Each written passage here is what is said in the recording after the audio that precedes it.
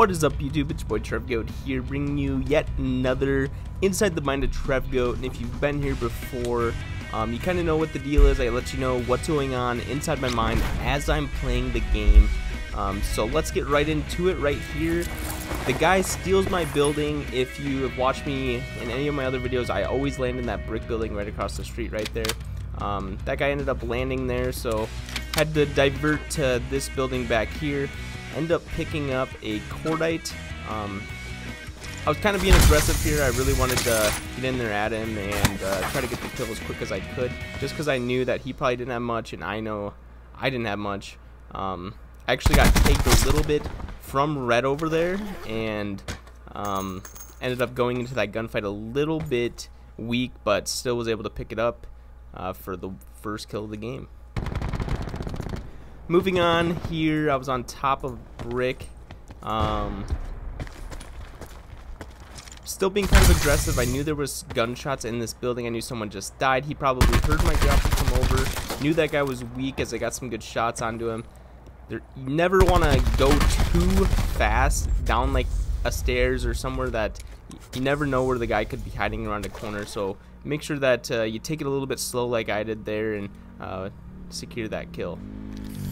So if you haven't noticed already, I actually recorded this in the theater mode on Call of Duty as I didn't actually get it recorded at the time. So maybe a little bit delayed and it may seem like I'm not hitting my shots, but I actually did, um, obviously during the game. um, ended up cooking the nade a little bit too long right there. I think I would have gotten that kill if I wouldn't have, uh, but unfortunately. Moving on to the next clip here. Um, this guy saw me in brick, and he actually gets a really nice snipe shot into me right there. Um, not sure how he hit that shot, but came out the door at the wrong time and was able to get some nice shots into him and got the kill.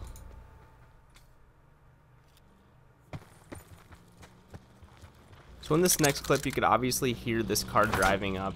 Got the stick onto him, he was about one shot once he got out. Uh, easy kill, um, especially in Rivertown where there's so many corners and so many cars that think they can just drive right through. It's easy to get that kill.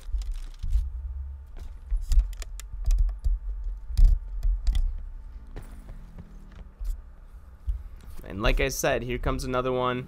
Um, just missed that uh, Molotov. Um, not sure if it would have killed him anyway if I would have hit it, but it would have definitely damaged him a lot, and then I would have hopefully been able to pepper him a little bit to get that full kill. Ended up hearing a guy next to me in uh, the blue building right here. Um, I think I saw him maybe in a window here. He probably could hear me as well. Um, he ends up peeking out the back door here. Not sure what he was doing. He was kind of a bot. Ended up getting an easy kill for me. Wasn't mad about it. Right here on top of brick did not get very good snipe shots into uh, that guy right there. Um, but was unfortunately to have some grapples got over here made a good play threw the chicken up knew this guy was coming down the street cooked the grenade at the correct uh, length of time this time turned around got a nice headshot on this guy heard a guy in pizza um, behind me over here, just kind of looking to see if uh, I did hear him for sure. And I think I, I ended up hearing him in pizza. Ended up beaming him a couple headshots there, getting that kill. And now we are up to, I believe, eight kills. So yes, eight kills now. Um, heard the shooting up here by the, the big tree in the rock. Um, knew somebody had to be hurt. Ended up getting a, a one shot on that guy um, and a two shot on the next guy. Uh, so two more kills up to 10. Um, one thing that that guy did wrong right there was jump. never want to jump because that gives just a little bit more time for um, the person who's sniping you to get that kill. Ended up hearing another guy trying to third party over here. Getting a great stun behind the rock. And, and we are cruising with these kills. 11 kills. In this next clip here, I don't think this guy even knew I was here or what he was doing. Just right on the open. Nice easy kill. On to number 12. So in this clip here, um, I definitely saw this guy. He was getting some good shots into me. Um, ended up deciding to flank around instead of going directly at him. He missed some shots there, turned around just in case maybe he was behind me. Um, but I think he was just kind of rotating over here. Ended up seeing him again.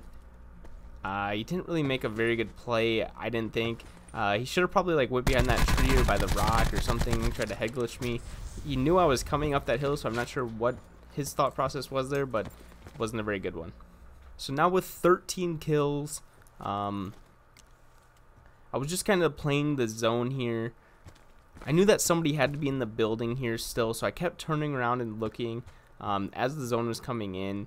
I knew that somebody was going to be camping in there because somebody is always in there. I'm not sure why. I do not like that place. I don't like any of the places that really have zombies. Um, it just kind of, you know, ruins your position and it's not very fun. I ended up hearing him jump out to the left. He did not see me or hear me.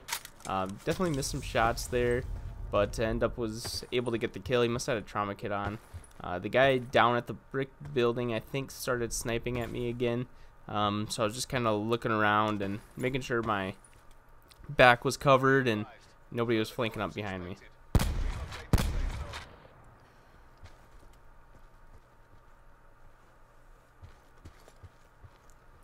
So 14 kills here. I did have to move quite a bit, 30 seconds.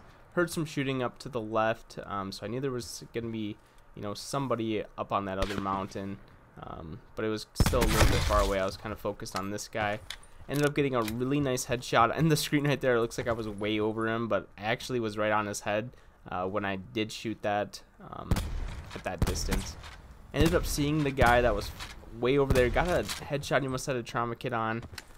Um, or else he didn't have any armor on, but I, am guessing he would at this point of the game. Uh, but the zone was coming in here. Just kind of try to get over here as fast as I could. Um, since I knew he was probably weak, but he was probably healed by now. But there, I knew there was going to be other guys probably over here. Uh, four people left now. Two people shooting down here. Was going to try to pick them both up here, um, but was not able to get the both the kills as quick as I wanted to. Right there, I got that guy so weak. That guy probably hit him one time.